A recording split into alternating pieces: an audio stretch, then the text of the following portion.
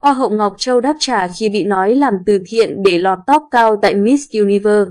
Hoa hậu Ngọc Châu đã chính thức lên tiếng phản hồi khi bị công kích cô làm từ thiện chỉ để làm màu với mục đích lọt top sâu hơn tại Miss Universe. Mới đây, Ngọc Châu đã kêu gọi hơn 400 triệu đồng tài trợ cho các em nhỏ cần được phẫu thuật gấp tại quỹ nâng bước tuổi thơ. Cùng với đó, nàng hậu còn đăng tải đoạn clip ghi lại những khung hình ý nghĩa trong suốt hành trình từ thiện của mình.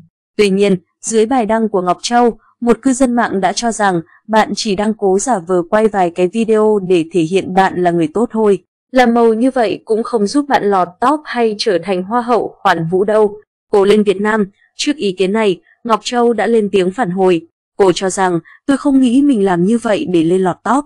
Dù thắng hay không thì đây vẫn là điều tôi chọn làm và sẽ làm.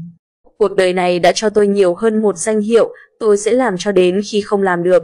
Hãy yêu thương và chia sẻ nhiều hơn rồi bạn sẽ thấy cuộc sống này tốt đẹp hơn rất nhiều. Trước đó, người đẹp quê Tây Ninh được một chuyên trang sắc đẹp Renas Slam dự đoán sẽ đăng quang cuộc thi năm nay.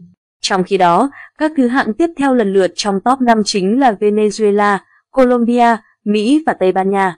Dù đây chỉ là bảng dự đoán xếp hạng nhưng fan sắc đẹp đã không khỏi vui mừng và cho rằng đây chính là tín hiệu tốt cho Ngọc Châu, là tiền đề giúp cho đại diện Việt Nam nỗ lực để có thể chạm đến trước vương miện danh giá của cuộc thi.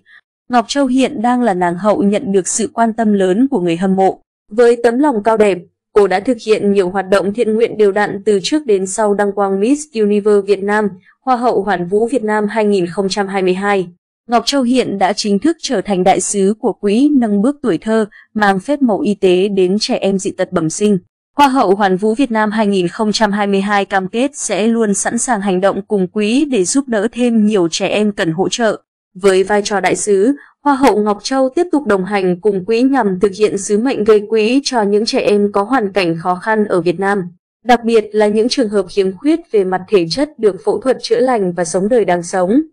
Với bề dày thành tích và giải thưởng ấn tượng trong suốt sự nghiệp của bản thân, Hoa hậu Ngọc Châu là một minh chứng cụ thể cho sự bản lĩnh, kiên trì và tinh thần phấn đấu không ngừng nghỉ.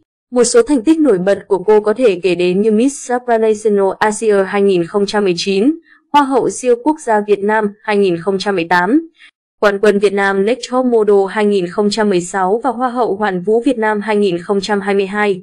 Chắc chắn khi đồng hành cùng quỹ nâng bước tuổi thơ, đương kim Hoa hậu Hoàn vũ Việt Nam 2022 sẽ mang phép màu y tế đến trẻ em dị tật bẩm sinh có hoàn cảnh khó khăn khắp mọi miền đất nước.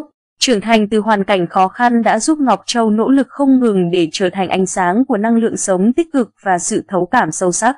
Cô luôn tin rằng lòng nhân ái, sự bao dung, vị tha sẽ mang con người đến gần nhau, khiến cuộc sống tốt đẹp hơn.